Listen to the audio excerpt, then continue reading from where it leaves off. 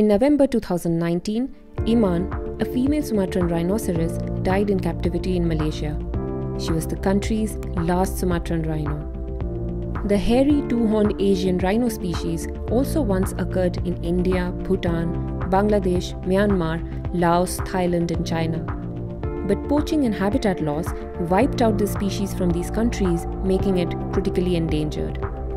Now, scientists estimate that there are fewer than 80 Sumatran rhinos left in the wild. All of them occur in small populations in Indonesia, scattered across four habitats in Sumatra and one in Indonesian Borneo. But small populations can have big challenges. We know that overcrowding is bad. When there are too many individuals of a population in an area, they start competing for limited resources like food, space, and water. Without enough resources to go around, individuals can starve or produce fewer babies, slowing the pace at which the population was growing. But when a population becomes too small and sparse, like in the case of the Sumatran rhino, that can endanger a species too by making it less successful in reproducing or surviving and slowing down its growth. This phenomenon is called the Allee effect and it can trigger extinction.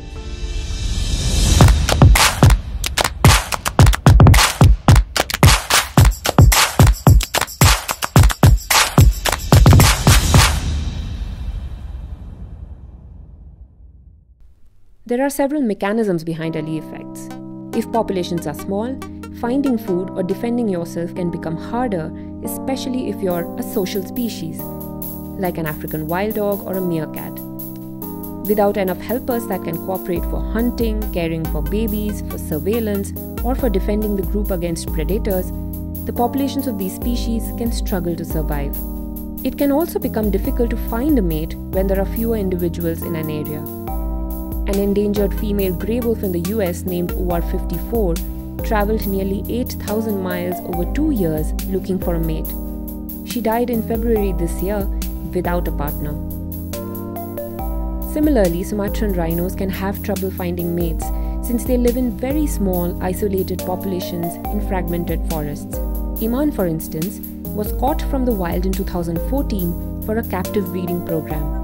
But as it turned out, she had developed uterine cysts and growths, making her infertile, possibly because she'd gone a long time in the wild without mating.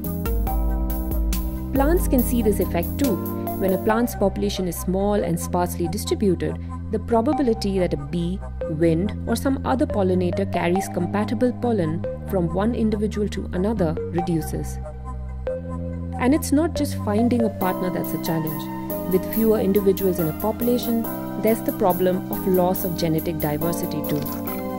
What this means is that as a population gets smaller, the chances that you'll end up breeding with your relative increases.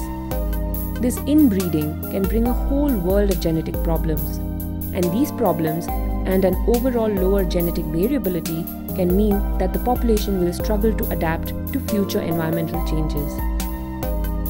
Given how small Sumatran rhino populations are, their genetic diversity is likely to be low too, researchers say. If that's indeed the case, its chances of long term survival look grim. Humans can also induce Allee effects in species with small populations. If a species is being hunted for the wildlife trade, its small population size can make it more desirable because it's rare. Consequently, the species will have a larger target on its back. With increase in poaching, the already rare species might then become even rarer. In all, Allee effects can make small populations shrink further. For threatened species, this can mean extinction, unless there's suitable and adequate conservation intervention at the right time.